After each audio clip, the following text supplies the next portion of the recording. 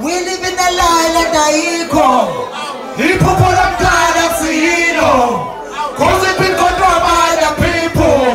Money and religion is the issue.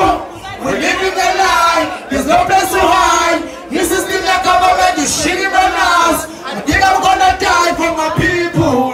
Cause I'm revealing the